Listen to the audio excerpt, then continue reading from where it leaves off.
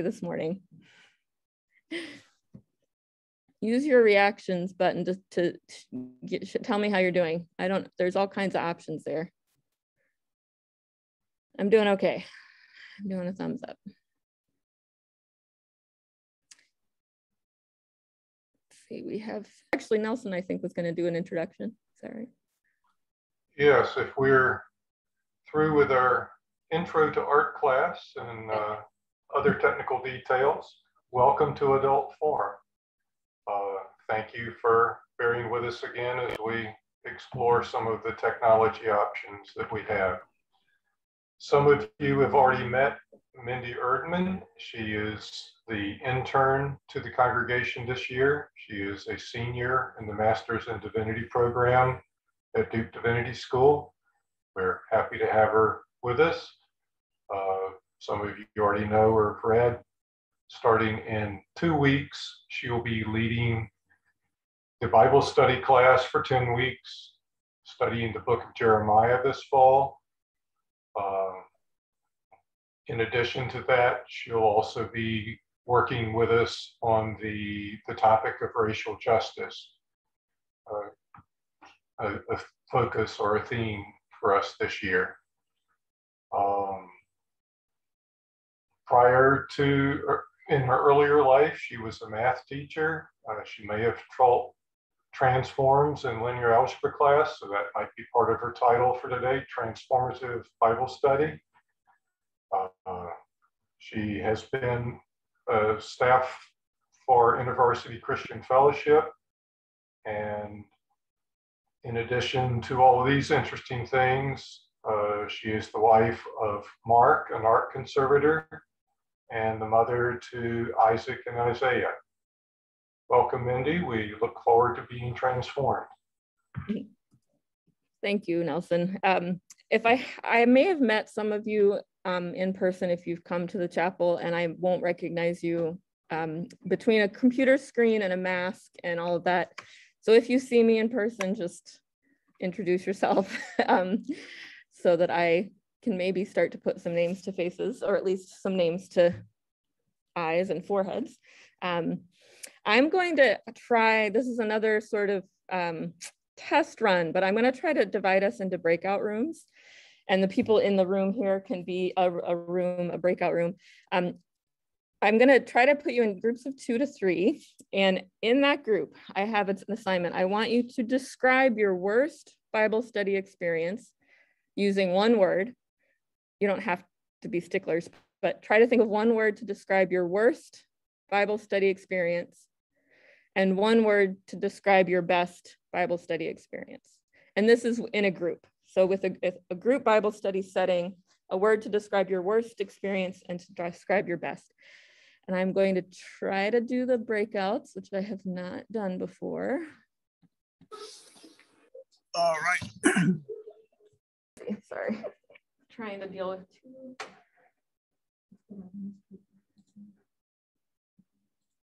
Chat. Dull enlightening. Okay. Well, thank you all. I hope that that breakout went okay because we're going to try that again in a bit. Um, oh, engaging. That's good. Um, in the meantime, so I want to, I'm going to give you a brief introduction to my own uh, journey with scripture. And then we're going to talk about a type of study that I've done in groups that we've called communal discovery. So this is an intervarsity thing. Um, I love the way InterVarsity approaches scripture. Um, and I feel like my most transformative and life-giving and engaging studies have been um, through InterVarsity. So I um, want to share that with others that, that, didn't have that opportunity. So my I, I became a Christian. I decided um, as a teenager to follow Jesus, and immediately I went on a youth group trip, driving from Cleveland or from Southern Ohio to Michigan so six or eight hours in the car with a bunch of teenagers in the back of a van. And for some reason, we decided to open the book of Revelation. You know, it was the weirdest book in the Bible, and we were all teenagers. So we um, we started studying Revelation, and I had this brand new study Bible that I had just gotten because I was excited about my new faith journey. And it had all these cross references in the middle of the page and I I was flipping back and forth, you know, this this strange book at the end of the Bible had all these connections to Genesis and Psalms and the Gospels and um, I was just fascinated. I was just immediately hooked that this weird book at the end of the Bible actually had things that tied the whole thing together. And I think since then, I've been in love with the Bible and also have wanted to understand it as that unified story or um, unified book. It's not um, just a bunch of individual things, but it tells this whole story and it's all interconnected. So I ended up getting involved with InterVarsity right after, uh, right when I went to college and learned more about, about the Bible, about how to study the Bible. Eventually, I went on staff with InterVarsity and my job title was Scripture Engagement and Racial Justice Specialist. So I was training student leaders and staff on how to study and lead Bible study. I was um, working with chapters and, and chapter staff to engage the campus in all of its diversity and also to um, particularly to help white students understand why we were talking so much about race because many were coming from backgrounds where it wasn't discussed and it wasn't seen as related to their faith. And um, so that was that's kind of my journey. Eventually i i came to duke because i wanted to do that same kind of thing in churches um, helping churches engage with scripture in life-giving ways and in ways that will help uh, us um, recognize the need to deal with, in our current moment especially, um, know how to talk about race and understand what is at stake with that and how it connects to our faith. So that's what brings me here. This um, internship was just sounded like the perfect opportunity to do those things that I um, that I love, and so that's why I'm here. Um, I come from so my my background my my faith journey i really grew as a christian within intervarsity which is an evangelical organization. So i have um, some issues with the whole evangelicalism. I think um, some of you may know how that how that is. Um, there's just a lot of uh, a lot that's been done. I think amy and amy was telling me about this earlier. So um, but what I do um, hold on to from that tradition is a high view of scripture as the living and active word of God. Um, I really believe that Bible study is meant to transform us. It's more about transformation than it is about information.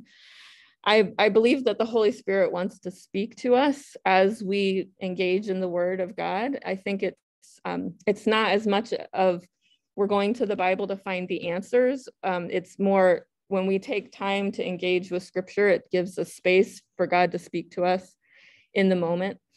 Um, and with this communal Bible study method, it, it that happens in a community. I, I think most Bible studies I was a part of before InterVarsity, it was a bunch of individuals coming together to study together, but it was usually individual sort of application or individual growth that happened. Everyone went home to their own life and they kind of applied it however. But I've seen through InterVarsity um, just an amazing way of bringing community together and, and having God speak to a group of people, which most of scripture was meant to be um, shared in a community. It was their letters to churches, their stories of a people. So um, that's something I've loved about about this communal discovery Bible method. Um, I think I've mentioned some of these things, but just again, I the Bible's not an instruction manual. I think sometimes it's easy to think of it that way, but it's it's living and active, and it's a story. Um, there's instructions in there, but I don't think that that's ultimately what the Bible is. Um, and I, I, think it's most transformative when we approach it as an opportunity to interact with the Holy Spirit and let the Holy Spirit transform us. Um, something else I've noticed, and I don't know if any of you will resonate with this, but I think in a lot of churches, Bible study or the Bible has become sort of a spectator sport. We rely on pastors and experts to tell us what it means. But I think very few churches or very few Christians have had an opportunity to learn how to engage personally with scripture. And so we leave it up to the experts. Um, that, and that could be because we feel like there's a lot of historical context we don't know or, um, or that sort of thing. But I, I really want to help Christians know how to engage together in community and engage on your own without feeling like you have to ask an expert, what does this mean? Um, I think that the education experts have, I mean, clearly I'm getting my education to have some of that expertise, but I don't think I, I the Bible is, you know, this very Reformation, you know, the, the Bible is for the people and we, we all, I hope, can learn how to engage with it well. Um, all right, before I move on, I will give an opportunity for anyone to ask any questions or make any comments about so far what we've done. You can go ahead and use the raise hand feature and I will um, call on you and then you can unmute if you have a comment or a question, or you can put it in the chat if you'd rather do that.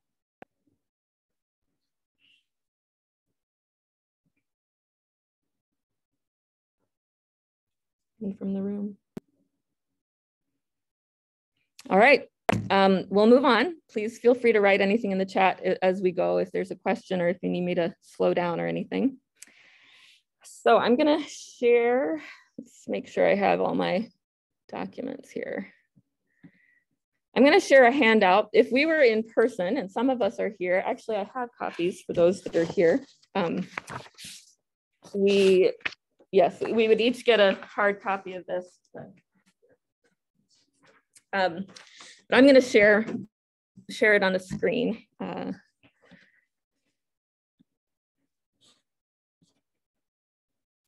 all right.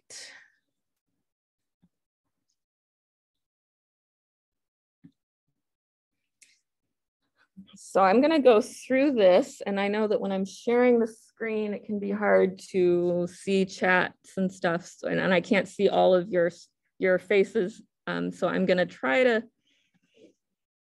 okay, thanks. Nathan's gonna, Nathaniel's gonna keep track of if there's any questions or anything. So, all right, so the first, first key to this is um, I love studying scripture inductively. And if you, some of you might already be familiar with that idea or that word. So it, inductive study is different than deductive study. And I think often Bible study guides and stuff are more deductive. They have the, the, the, the guide or the teacher knows where they want you to go, and they're just going to make sure you get there. Um, another way to think of deductive study is if you want to learn about prayer, so you look in a concordance and find all the instances of the word prayer in scripture, and you go and you look at what does the Bible say about prayer. Um, I don't think that's bad. I think there can be great um, reasons to do that but what ha can happen if we're only doing deductive study is then we might look at something like the Lord's Prayer and think the only thing that that is is about prayer, and we'll miss that there's actually lots of other stuff to learn from that passage.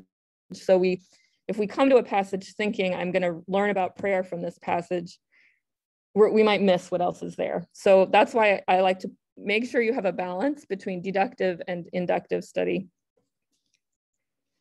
Um, this little table um, kind of gives you the some of the contrasts and comparisons. A, a, deductive study is more like a prosecutor.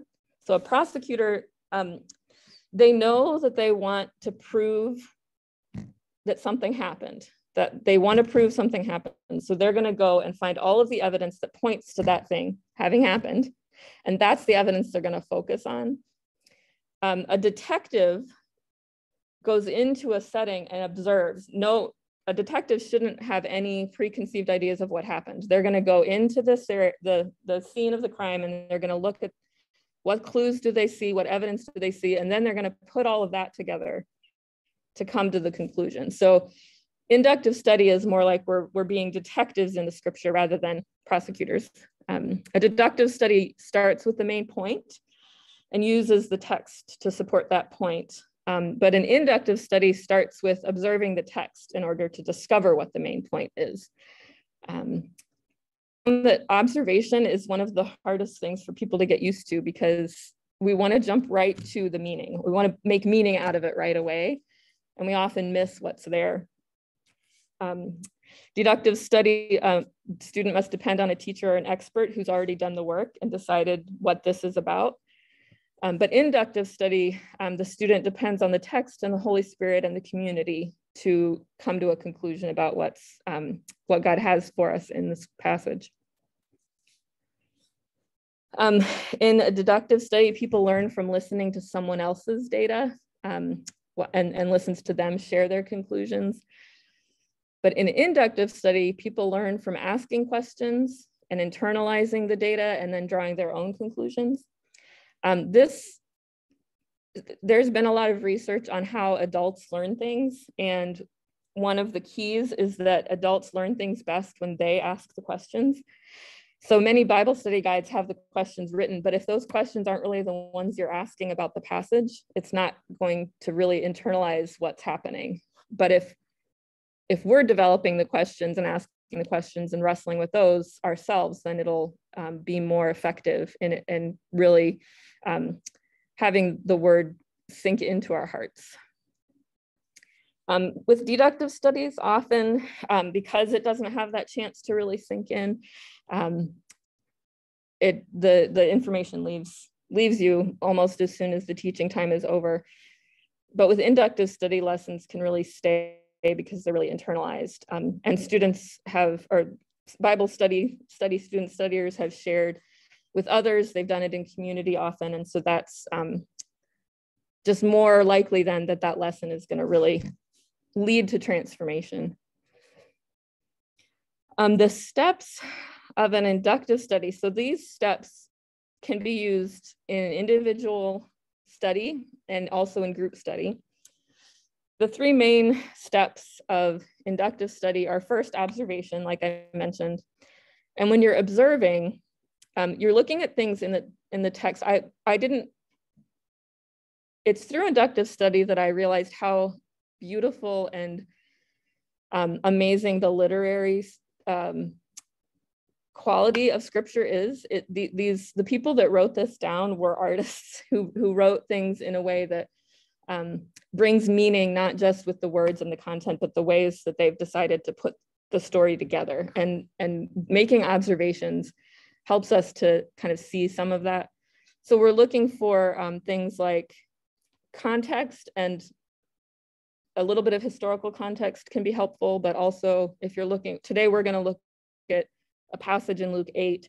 So understanding what happened just before in Luke 7 and then what might come after that can help you to sort of place yourself in the story. You're looking for who's there in the story, basic newspaper, you know, news reporter questions, who, what, where, when. You're looking for any repeated words or ideas uh, and cause and effect within the story or the passage, um, comparison and contrast. And then one of the really important things, as I mentioned earlier, is the questions. So I, I know that some people are raised with the Bible to not ask questions of it. It's this is what it says, we believe it, that's it. But it's in asking the questions that the real transformation happens. So during the observation part of the study, you can note down, write down any questions that you have, something that doesn't make sense to you, something that sounds just not in line with what you would what you would have thought, um, things that surprise you, those kinds of things. Um, so once the observation time is done, then you move into interpretation. So we don't want to jump right to deciding what it means. Uh, we want to use our observations to then start answering our questions. Um, one important thing with inductive study is to try to answer the questions from the text itself that you're studying or from the book of the Bible. You, at, at least at the beginning, we don't want to jump to other parts of scripture, especially parts that the original hearers wouldn't have had access to. So a lot of the New Testament, we can go back to Old Testament scripture because the first readers or first hearers would have had that. Um, but trying not to go into other letters or other parts of the New Testament because the original hearers wouldn't have had access to those and they would have had to make meaning of the text just with what they had in front of them. and through interpretation, we're, we're wanting to figure out what's what's the main point of this passage. What do we learn about God, or in a more sort of um, here and now moment, what is God saying to us in this moment through this passage? So first step observation, second step interpretation, and third step is application, um, which is just asking the question, how should we respond? If this is what the Holy Spirit's saying to us in this moment, is there something I should do about it? Um, I don't think it has to be like an action, like I'm really, I'm really terrible at like setting goals and like being really concrete about what I want to do next. But I do um, think it's helpful to consider how might I think differently about something? Um, how might I think about God differently? Or how might, what, how might this lead me into worship? Um, those kinds of things. All right, so that's those are the three steps of inductive study. That's something, like I said, you can do on your own. Um, I can make this um, page available um, to you if you wanted to download it and use it later. Um, I'm going to pause there before I move on and ask if there's any questions at this point. You see any on the chat?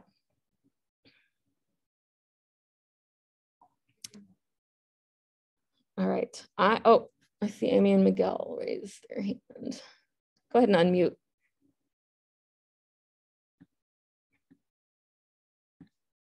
Okay, so um, this is Miguel. So just a a question. So uh, from what I see here, and and I'd gotten the sheet before a little earlier before the class, so I had a chance to look it over. But um, I see I see potential for uh, you know, reading a passage and then you would discuss it with others, I imagine. It's this is almost a community activity. And then how would you uh, reconcile differences in interpretation, not only from what reading, but from the different versions of Bibles out there? There's so many uh, uh, uh, what do you call them translations so um you know i'm not I, I don't I haven't gone to many Bible studies, so this is fairly new to me. So I don't have a lot of experience necessarily, but I can an- anticipate a lot of dis- disagreements. How would that be addressed? I guess. Excellent question. Excellent point. Um, so a few things. I I would say one part of the joy that I found in Bible study is wrestling with those disagreements. Um, and and that's why it's important to keep in the text too. So you, if, if somebody's saying something that you don't agree with, you can say, well, where do you see that in the text? How, you know, what's the evidence from this? How does that, how does this text lead you to that conclusion? Um, even if you're doing this on your own, I, I mean, I am a huge proponent of reading many different translations, but also different interpretations of different passages and, and being comfortable with, in some cases, we're just not ever going to agree. um, so there might be, it might be an agree to disagree thing. Um, the other thing is I really, I really think, so I've done this mostly in the context of other Christians who've, who, who have the same view of scripture that in, in that it is God's word. Um, and there's a way that the Holy Spirit speaks to the group in a way that may not bring total agreement, but at least you can say, okay, so we have these questions that we haven't answered, but here's what we do know. Here's some things we can agree on. And as a community, um, focus on the, like God is speaking in that moment to those things that you do agree on. Um, I think ambiguity and stuff is, is sometimes hard for us to live with, but that's why we need the Holy Spirit. That's why we need each other. Thanks. Yep. yeah. Any other questions? All right, I'm going to move on before we get, oh, I see another couple of hands. Emily. I was just going to ask about um, with the with the prophecies in the Old Testament how how do you um, like a lot of times I'll read the Old Testament and I will look forward and I'll see um, them alluding to things, I feel like, in the New Testament. Um, but when you're saying to stay in the text, how how does that work? And would you recommend not doing that? Like in your experience, how has that worked? Yeah, thanks. That's a great question too. Um, so I think we, as Christians, we tend to view the Old Testament almost exclusively through the lens of the New Testament. We've just been taught that, and I, I know many who've even been sort of taught that the Old Testament isn't really valid anymore, almost. Um, in my Old Testament class here at Duke, I, I remember the professor saying we need to be able to look both directions. We need to be able to look from the Old Testament towards the New, but also from the New Testament towards the Old. And if we haven't looked at the Old Testament for what it said at the time, we're not going to be able to. When Jesus quotes scripture, when Paul quotes scripture, we need to understand what the hearers would have thought, or you know, how what that what would have evoked in them. Um, so I think there is a place for looking forward and recognizing that okay, Isaiah 53 is, you know, it, it seems so clearly about Jesus dying on the cross, the suffering servant, and all of that. Um, and I think we can say that that's valid, but I think we have to also consider what would the original hearers have thought of that before Jesus came? What, what would that have invoked for them? Um, so yeah, I do think you need to go both ways, but I think that Christians tend to go more, let's look at the Old Testament through the lens of the new um, instead of looking at the New Testament through the lens of the Old. Um, and I, so I lean more, to, I love the Old Testament. I lean more towards studying the Old Testament, um, which is why I'm excited about Jeremiah. But yeah, does that answer your question, Emily? It does. Yeah, no, I think that's a great answer. Thank you very much. Yeah. Um, I don't know if there's any other questions. If you want to, those of you who've asked, if you want to put your hands down, I don't know if I can do that, but if under reactions, you can Excellent. All right, thanks. Okay, so I'm gonna, um, I'm hoping we're gonna have a little, at least a little time to study Luke, but I wanted to just make some points about this communal um, discovery. So like I said, this inductive study is a method. You can use that in lots of different ways. Um, but doing it as a community and not just reading it in a community to apply individually, but as a community, I just wanted to say a few words about that. Um, in that process, the, so the the leader um, i do think it's important to have a leader who's able to um, have a sense of where the holy spirit's taking the group. And so i know for some people they feel uncomfortable with this type of study in a group because it kind of feels like oh anything goes. We're reaching our own conclusions. We can um, and while i don't think we always have to agree i do think that there's discernment that needs to happen about um, where the holy spirit is taking us but part of how the, the leader does that is in first doing their own preparation, but then also mm-hmm. making sure that the whole group has an opportunity to share their questions and their observations. So it's, I know for me, I don't know, I know everyone's not like this. I, I am a external processor. If I don't have the chance to say it, I, it's, I'm not gonna remember it. And so having the opportunity to speak in a Bible study is really important for me. So, which is why Bible studies is just one person teaching and just a lecture style. That for me is frustrating because I need to discuss it in order to really know it. Um, and I know that in a in some groups where you have a lot of people, you have a lot of um, different levels of experience with the Bible. You have some who've, you know, pastors, they've been to seminary, and then others who this is very new. And often the pastors want to want to jump in and say, "Oh, here's what this means here's here let me explain this to you. Um, and that cuts off the process of the community from from engaging. So um, again it's not about information it's about transformation. And so if we jump in too quickly those of us who like to talk a lot and say here's what this means um, we've cut off that process for the community to come to some conclusions. And allowing others to share um, questions and observations that maybe you might point out things that you haven't seen before. Um, so it's it's an it's a really important thing to have the whole community involved in asking the questions, coming up with the ideas, even if I already think I know where it's going, giving others the opportunity to articulate that um, is really important. So as we um, go into our Jeremiah study in a couple weeks, if those of you that are going to participate in that, just keep that in mind that this is as a communal experience, we want to give everybody a chance to share their questions, to share their observations. Um, again, I think I've said every all the other things I had on my notes here to say, but we, we the expectation is that God is going to speak to us as a group, um, and that we're not we're not looking at the text together to figure out what it means per se, um, but we're coming together to listen to God and to hear what God has to say for us in this time, in this place, to this group of people.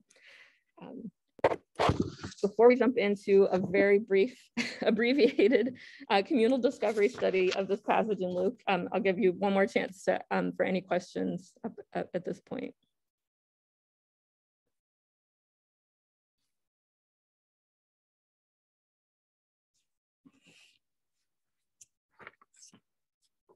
All right, again, feel free. I think Nathaniel's going to keep track of the chat. So if you have questions as we go forward, um, just put them in the chat and we will address them. All right. If we were um, in person, I would have everybody have a printed copy of the passage um, because I love doing it this way. So this is mine. I've already got it all marked up. It might be backwards too. I don't know, but um, oh good. I um, I really I'm visual. I like color. I like interacting. So I I love doing it with a manuscript like this.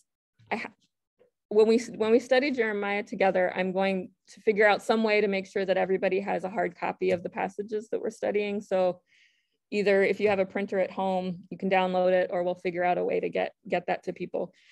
For today, we're going to try using the whiteboard. Um, so first, let me see here.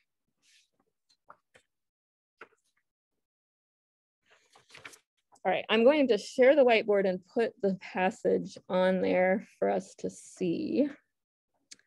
Let me do this.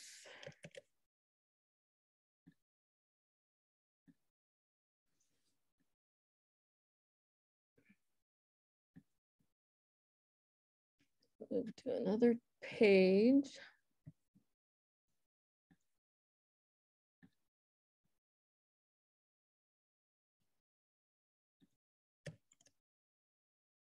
All right, so this is Luke 8, verses 22 to 25. Um, did you have a, good? Oh, yeah. Is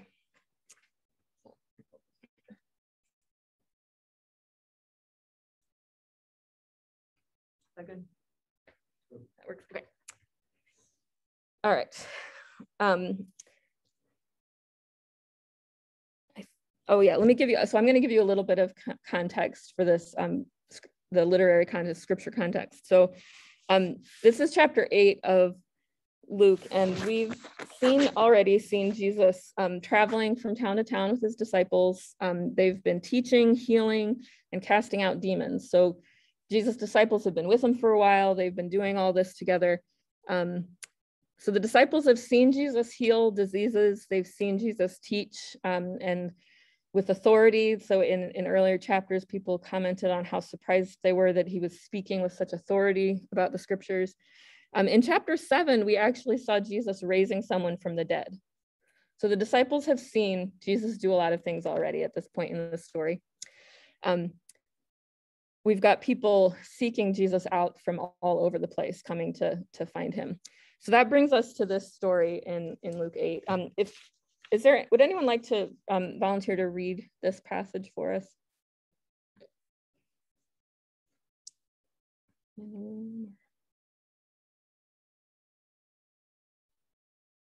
I'll do it.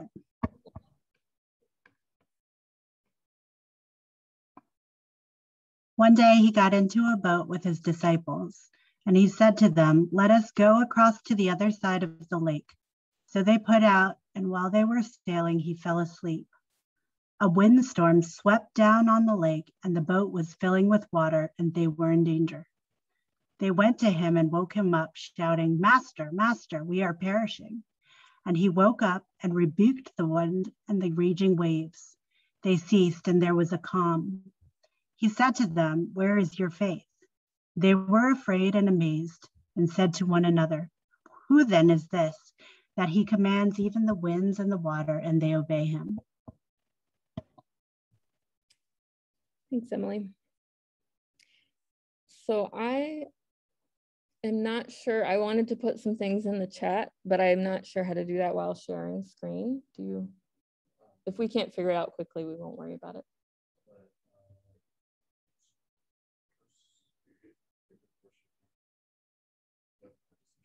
No. Okay, that's all right. I won't, we won't.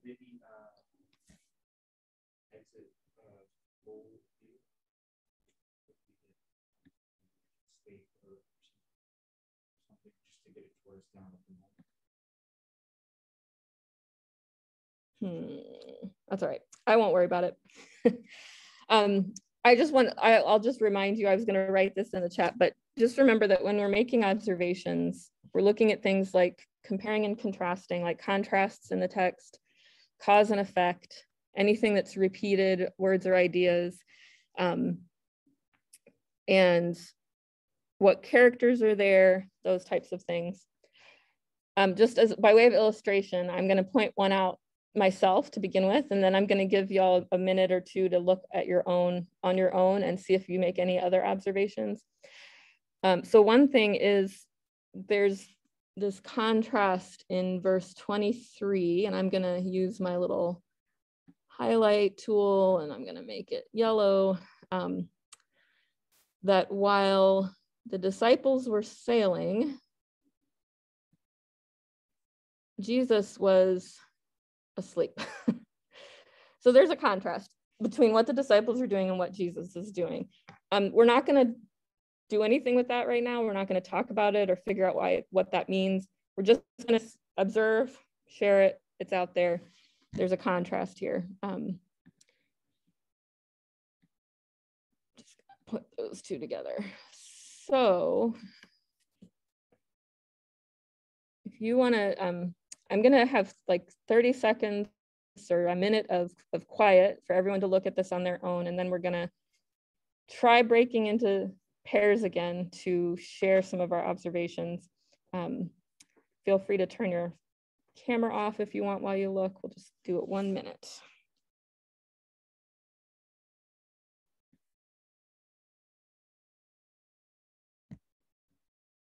Mm -hmm.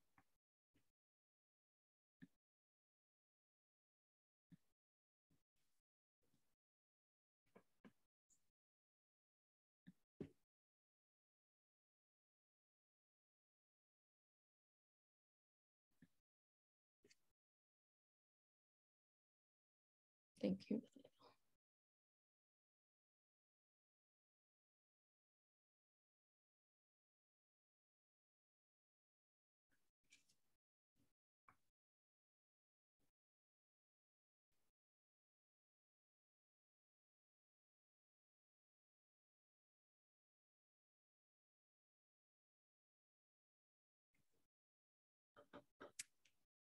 While I think that was maybe about a minute, um, if you have a piece of paper to write down any questions you have about this passage, go ahead and write those down. Or if you just want to remember what they are, just think about what questions do you have.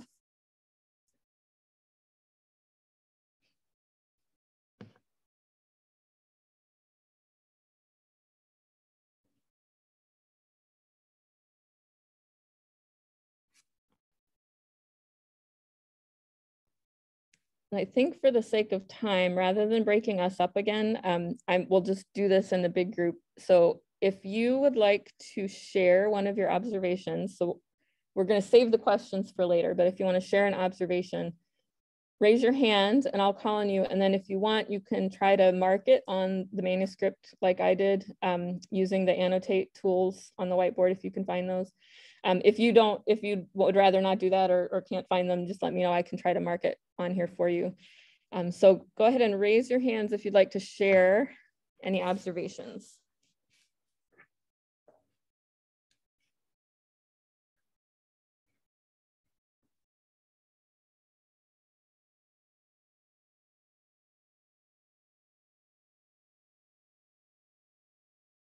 Carl. Yeah, one thing I found interesting was the word rebuked, and that could be a, a matter of translation. I, I don't have my Greek with me, but um, usually we think of rebuke is okay, you did something wrong, somebody did something that was that needs to be called out, and I'm I'm rebuking that. That act was bad. In this case, you've got a storm happening, which happens all the time. I wonder I wonder how much weight to put on that. That that you know the problem we would think of it most likely as the well the problem isn't wind and and a storm. Those things happen. That's part of nature. It's too bad we were out in it. But I, I find that interesting that he woke up and rebuked the wind and raging waves. That's yeah, that's good. So the strong language of that word is is interesting, and that usually good observations lead to good questions, and so that's a good question we'll talk about later too. Is what, why rebuke? Why choose to say it that way? The other thing is when he says, "Where is your faith?" I it, it's an interesting question to to think of what should their reaction have been where is he saying you shouldn't worry about this? You know I'm here, or you should have have prayed and and done this. Mm-hmm. What, yep. what was he? What was the reaction from them he was hoping to see? Yeah, good. Another good question. Um, what other observations does anyone have? And you can put your hands down when you, I don't know if I can do that for you, but Oh yeah, I can. Good. Emily, you're still muted. You're still, oh, here we go. Sorry about that. Um, the disciples and then master and master. Oh, good. Yeah. Um, and then danger and calm. So danger and then calm. And then um, I had faith and afraid. And then I also had the rebuking the winds and um, the raging waves. Good. So we've got some contrasts between disciple and master, danger and calm, um, faith and afraid, and then um, the perishing and and they were afraid that's tell me again what the um, observation was or the connection there was? Oh um, faith and afraid. So to me those are opposite right? Because to to have faith you have complete confidence. And to be afraid is really the lack of confidence. So those two are opposites to me. Yeah good. I also noticed that there was he asked them an explicit question, where is your faith? And they didn't answer that question. Yeah. Yeah. So Fran noticed that when they ask this, when Jesus asks them this question, they don't answer it. Um, Amilda in the chat um, notices a cause and effect between Jesus' words calming and calming the sea. Um, So he rebukes the wind. I'm, I know this is not the neatest thing. it's hard to do on, but um, yeah, there's a cause and effect there. Yeah, Amy or Miguel. So this is Amy. Um, just a simple thing. Um, it's not so much cause effect as simply a question. Um, the disciples, in theory, had been with Jesus for a while and seen him working miracles, you know, healing and things like that. So it's a little interesting. They were afraid and amazed, but then said to one another, Who then is this that he commands even the winds and water? It, eh, I don't think it's necessarily a, a pure identity question, but it's it's sort of interesting that that something about this caught them by surprise that they wonder like, whoa, who is this? Eh. yes, their response is interesting. Yeah.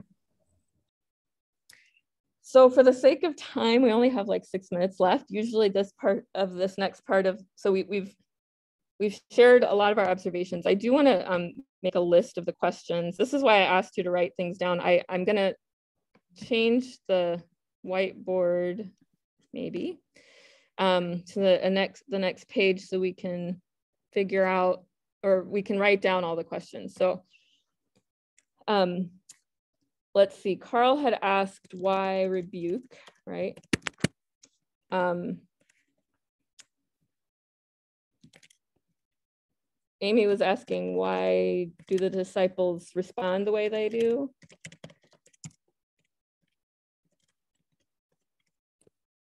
Were there other questions that you had? I'm, I know I'm sorry you can't see the passage anymore, but other questions?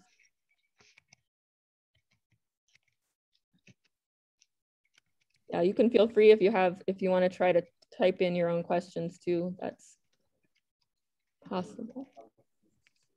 Yeah, how is Jesus asleep during the storm?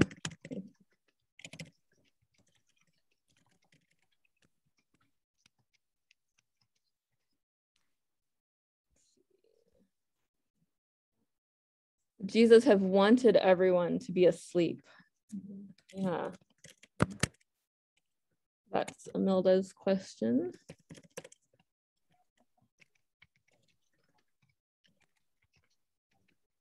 Wider, yes, like, um, whoop. Uh, now I can't figure it out.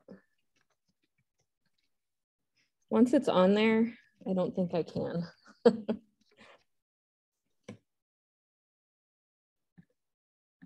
oh, that's good. So Mel was wondering if the rebuke was because the, the storm was disturbing um, the calm of everyone in the boat. Um, I'll add that up here.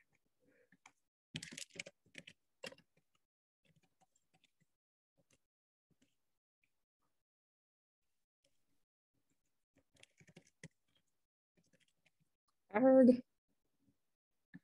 Oh, there we go.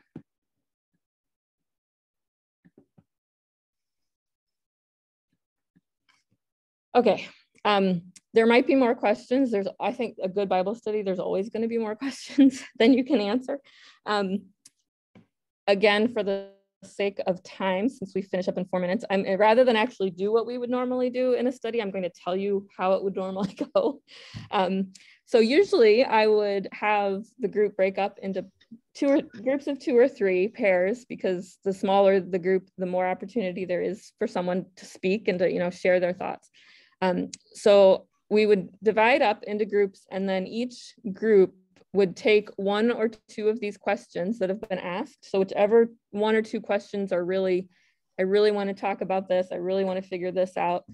And within your small group, you'd look at the text, you'd talk, talk it through, wrestle with it, not necessarily come to a strong conclusion, but um, in the process of wrestling and discussing the questions, there could be um, some some insight that would come. And so after doing that in smaller groups, we'd come together and kind of go through the questions together as a group, um, hopefully leading us towards what often happens, and it's amazing, is that the Holy Spirit is speaking to the groups and, and we end up sort of moving in the same direction um, with our discussions. And the person leading um, would would then you know listening to the holy spirit listening to the text listening to the group would kind of summarize here's what god seems to be saying to us in this moment.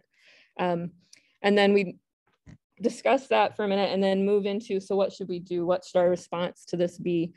Um, for this particular um, study, I, since we didn't really have the chance to, to discuss and to hear from everyone, so I'm going to share with you some of what I kind of, as I was preparing and studying, where I felt like God was going with this. Um, and it has to do with this question about um, why the disciples respond the way they do. You know, they've, as I think Amy pointed out, they've they've seen Jesus, they they've been with Jesus. so what's this question now? Who is this? Why are they asking this question now? Um, and something that might have come up in our discussion is that this is the first time that the disciples' lives themselves have been at stake. Like they really truly were in danger. They were scared for their own lives. So in this moment, all that they'd seen Jesus do for others um, was now um, they're scared they're going to die. How you know how is Jesus going to let them? So this it's it's their own personal um, life that is involved here. Um, which might be why they were scared because when it comes down to it um, it's one thing to see god working in the lives of others but another eh, um, to trust that god will do the same in our own.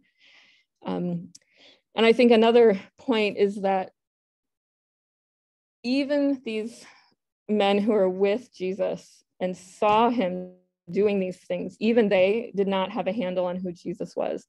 Jesus was beyond what they could figure out or understand or expect uh, so I think for us, um, I think it's important to, to keep that in mind. Jesus is always going to be more than we can can hold onto, more than we can grasp. Um, on the one hand, I, there's there's a balance between faith in knowing that Jesus loves us and will care for us, and on the other hand, a balance balancing that with if I ever think I've got Jesus figured out, I might want to um, rethink that. Um, yeah, how could the human Jesus sleep um, during this storm, which would toss the boat about?